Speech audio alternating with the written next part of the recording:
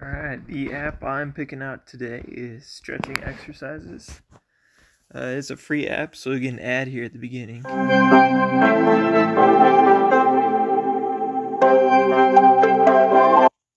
once you get past that, um, you'll make a login at the beginning. Once again, it is free. Um, once you get your login, you'll be presented with what you want your weekly goal to be.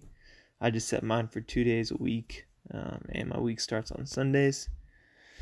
Um, up on your dashboard, or what you'll come to every day, you'll start off with your report, basically what you've had in the past, um, and then the week that you're on now, and where you are with your goal. As you see, I'm one out of two. Um, and then it gives you some suggestions for your routine. So all these exercises are based around stretching. And what's nice is it comes with some already pre-planned workouts. Um, so as you see on the morning warm up and sleepy time stretching, they already have these set exercises where you can see exactly what it is at the top.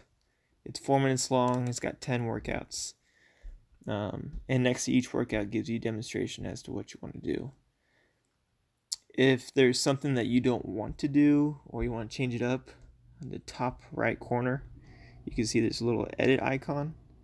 If you hit on that, you can just change the order if you don't like it or if you want to move it around, you can. Um, one thing I did see is you can't actually just get rid of a workout, but you can swap a workout. So if I didn't want to do these reverse crunches at the top, I can hit on the right side those two arrows and I can change it out with some different type of workout. So it's still that four minutes.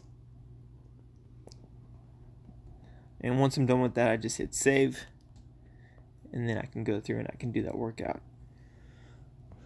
Um, if I go back a little bit, some of these further down, um, I did knee pain relief earlier today. You see, it's got a, a star up there. It's one of the premium ones. Again, you don't have to pay for it, but it'll ask you, you have to watch a video before you do it. And this video, it takes about a minute or so.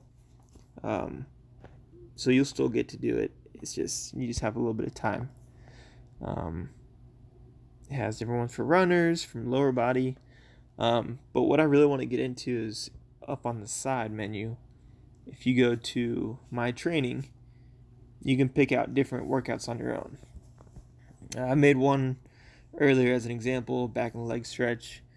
Uh, my thought behind this is if you're going through a certain unit for um, certain workouts for your body, let's say you want to do back exercises, you can go ahead and have your students pull out um, a warm up stretch.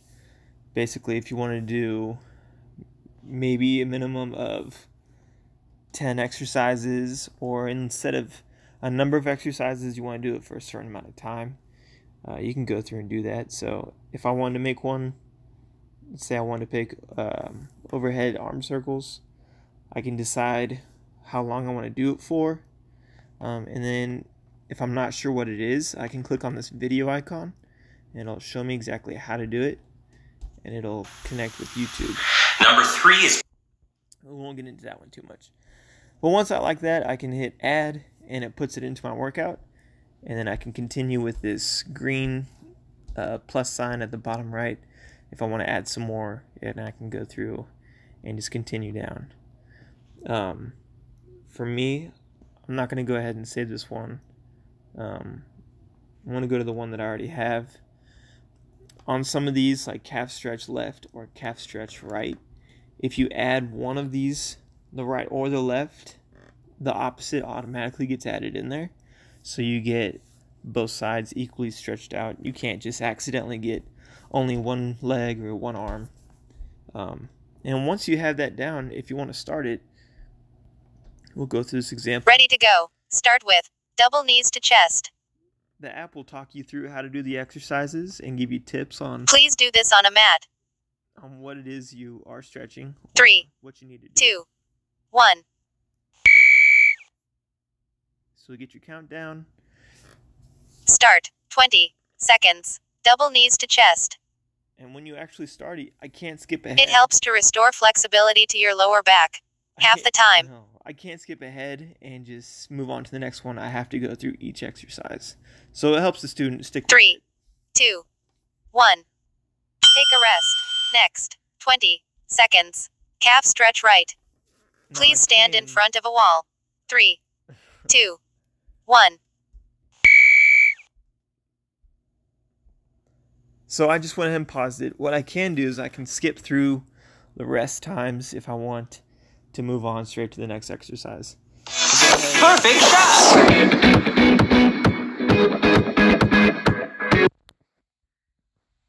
And what's really convenient is Hold on and think about why you started.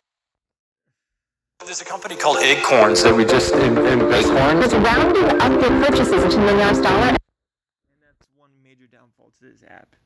Um, but what's nice is I'll come back here and I'll click on reports, and on reports, it's going to show me exactly what I've done this week. Um, if I click on see Sunday, I click on that one, it'll show me exactly what workouts I've done this day, and how many calories I burned or how long I did the workout for. And so this is another way that if I have my students do it, I could have them screenshot me this image here. Because as you see on that one that we just started and I ended it early, it only shows 38 seconds. So I can't really cheat myself out of it. Um, and this way it gives the students, they can see exactly how many calories they did, um, how long they did their workouts for in this calendar view so you can see the whole month. Um, again, I think it's really good. Students are able to customize their own workouts. Um, they can pick some already pre-planned ones, and um,